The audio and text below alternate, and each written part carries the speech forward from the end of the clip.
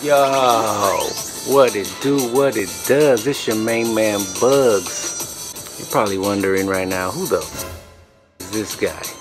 And why am I watching this? Well, my friends, I would be delighted to answer those two questions.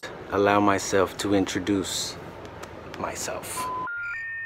We're sorry, the number you have dialed is not in service at this time. I am the hardest working, starving artist to ever make the world a better place before I go extinct. The name is Moquiuix, also known as Chief Moquiuix. I'm a creature. Coming to you live and direct from the finest city in the West. Sunny and sandy. Heat, southeast, they go. San Diego, Baja California, Mexico. Flat, you cannot compete. Actually, I'd like to welcome you to your first taste of the fix. By yours truly, the one and only, and only. Call me Chief Moquiuix.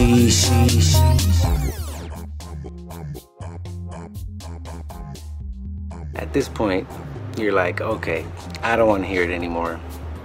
And that's okay because it's a free country, right? Wrong. It's kind of free, but uh, you know. This is and has got to be the most remarkable, strangest, most confusing time in modern history. So I'm going to do this not as a reporter, a journalist, conspiracy theorist, fearmonger, or spreader of misinformation. I'm doing this for selfish reasons, obviously. Come on, we all do everything for our own selfish reasons. Look, obviously I'm trying to push my brand, which if you don't know, you probably don't, call it The Lick Inc. Copyrighted. Yes, that's right. See, I'm just like you, ordinary, working class, bit of insanity. Only difference is I managed to maintain my creative process while balancing the responsibilities of adulting. Look, basically I'm doing this because I have this crazy feeling that there's people out there that feel the same as I do. In this age where so much info is at the very fingertips of our society and it's so hard to decipher the truth from fiction. I mean, it's damn near impossible. It really sucks that I even have to do this, that I even have to question what's being reported, but here we are. I like to consider myself a healthy skeptic and a deep thinker. It's a gift and it's a curse, but it's a gift that I can no longer be selfish with. Must allow somebody, if not everybody, into this world of deep thinking. So, regardless of your reasons, this is the fix of deep thinking.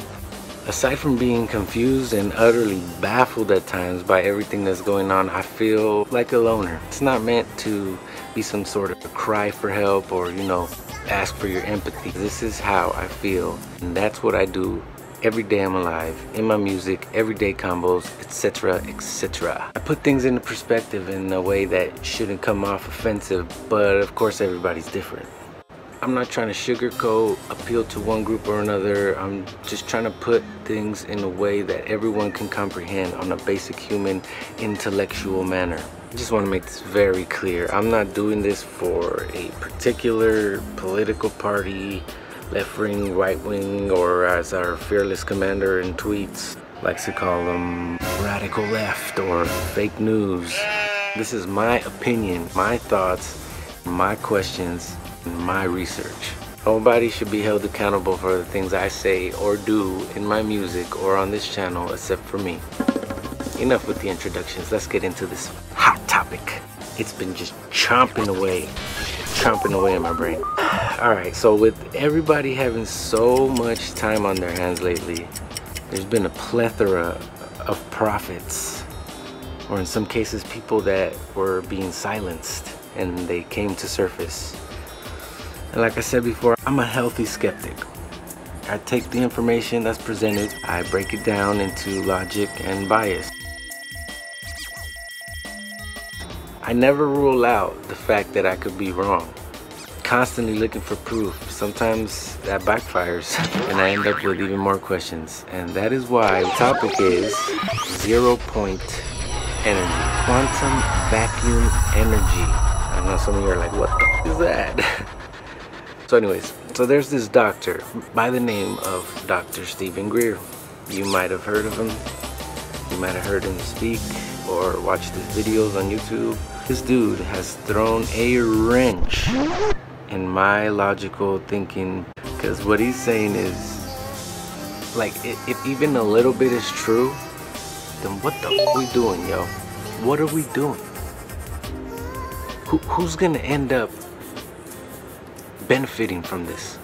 So check it out. Let me let me go back. Let me throw it way back okay in the late 1800s early 1900s there was this engineer and physicist by the name of Nikolai Tesla you might have heard of him. I'm not talking about the car or Elon Musk. I'm talking about Dr. Nikolai Tesla. This dude was profoundly ahead of his time. And that's just saying the bare minimum. Basically, the reason why we have all this technology, he's the very reason why we have access to this neat thing called alternating current also known as AC, also known as a worldwide electrical system. Nikolai Tesla was born in 1856 in Croatia. He was well known, he was respected, and he was famous for his breakthroughs.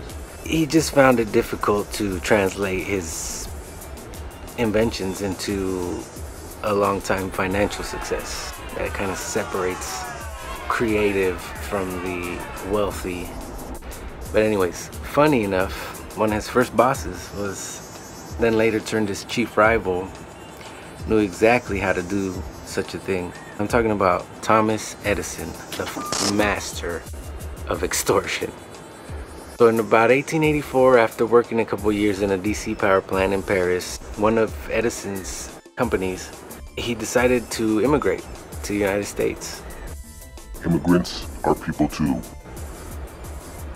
Tesla made it to New York and he got a job at Edison's Manhattan headquarters. After about a year of impressing Edison with his ingenuity, Edison told Tesla, on, let me say like Edison would.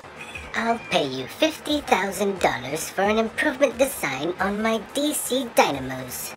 Tesla was like, 50 G's? I'm on it. But after a few months, Tesla presented a solution and asked for his money. Edison, he just laughed. He laughed at Tesla and he said, Tesla, you don't understand our American humor. Didn't give him Tesla said, chuck the deuces up. Hold on, let that truck pass by.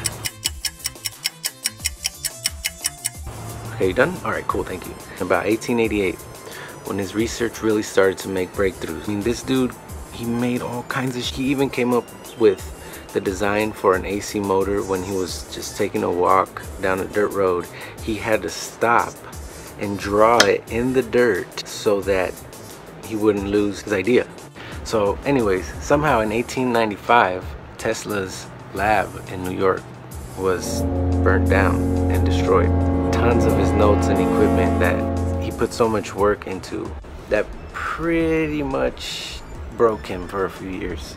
So he moved to Colorado and started his own lab out there, secluded. Uh, he finally got some financial backing from another person of interest, uh, JP Morgan. He, he began building a global communication network centralized around a giant tower at Wardenclyffe in Long Island. And around this time, really got interesting for uh, Dr. Tesla. I really had to go in and like find this discovery of this little thing called zero point energy. And what zero point energy is referring to is random quantum fluctuations of the electromagnetic force fields that are present in the vacuum. In other words, an empty vacuum is actually a cauldron of energy. Basically, Tesla figured out a way to harness energy through the vacuum of space effectively ruling out the need for fossil fuels and other natural resources. So he made a car then that ran on this quantum vacuum energy. But he drove it to New York to JP Morgan and presented it to him. It had a like six foot antenna on the back of it. JP Morgan took a look and said, I can't put a meter on it. I don't want it. From my point of view, that seems to be where Tesla started uh, downward spiral. Imagine you come up with something so profoundly great for humanity, and the person that's supposed to back you up tells you that it's trash. I mean, shit happens to me all the time when I make music.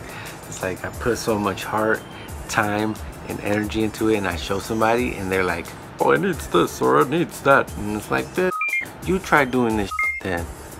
I don't. I'm not always looking for notes. Sometimes I just need somebody to encourage me. That's neither here nor there. Just peep the videos out, and you be the judge yourself, but keep it to yourself because I don't need notes, okay? Been like 20 years now and I've been doing this. Well, I'm pretty sure I heard it before. But anyways, ah, I feel Tesla. I feel him, man, because he was just trying to make the world a better place. And he did. He was denied the privilege to save the world. Fast forward to the present day, there's this dude named Dr. Steven Greer. Doesn't mean believe everything that you see because like I said, you gotta be a healthy skeptic. You gotta just know what's unbelievable probably shouldn't be believed. it's not, it's, it's, a, it's a fine line. It's a fine line, y'all. Healthy meltdown in three, two, one. On that note, wear a mask if you're in public. I'm not talking about wearing a mask while you're sitting in your garage recording a video. I'm talking about if you're going to the store, wear a damn mask, please. I want to go back to normal life too. All right? It's not a threat to our freedom. It's a threat to our lives. But anyways. Who came first, the sheep or the trump? Like I was saying, in a nutshell, the doctor claims that this form of energy that Tesla discovered is currently and has been for a while understood. He's talking about 1954 and a professor named Hendrik Casimir. It's called the Casimir effect. And what he gets into is gravity control and the use of flying vehicles. Kind of like the Jetsons. Remember that? I know it sounds far-fetched, man, but he claims that this technology is available, but it's not available to the public because it would make fossil fuels obsolete, which in turn would make a bunch of rich people go out of business and possibly save the fragile biosphere that is our Earth. And our kids would be saved from global warming and radiation. While most of us Americans are bickering about who's going to destroy the United States economy and the world for that matter, there's this technology out there that would benefit the planet and our very existence. The planet that we are leaving to our kids to inherit. But nobody's saying anything about it. This could all be some kooky ass, crazy, far out, gnarly theory, but the way it's presented by Dr. Greer, I just, I can't ignore it. Especially with recent information that was given to us about UFOs and spacecraft from the Pentagon. Point is, what is freedom? And how much of it is too much? That's what I'm trying to figure out right now. All this pollution and destruction, natural resources is unnecessary. I mean, what good is money if there's no planet to use it? Something else that coincides with this topic is uh, ancient civilizations and the messages they left behind and how they just vanished. Like, those are just my thoughts, opinions, questions. You'll probably hear about it in a song maybe someday, who knows. By the way, check out my videos and check me out on SoundCloud, Amazon, uh, Spotify, iTunes, whatever you want. check out the links. They're all right there in the description. If you have any comments, thoughts, opinions, questions that maybe can answer mine, or we can answer them together, well then feel free to join the convo. Any suggestions you have, something you want me to look into and we can talk about and see what I come up with, put the word out. That skepticism is good for humanity in a healthy moderation. That's what I'm trying to accomplish. See how much freedom of speech I'm granted. And push my brand, of course. You know, Chief Monkey Leash, aka The Lick Inc., aka Soy un Vago. Buenos dias. Stay safe out there, fellow Earthlings. Ending transmission. This device will self-destruct in five, four, three,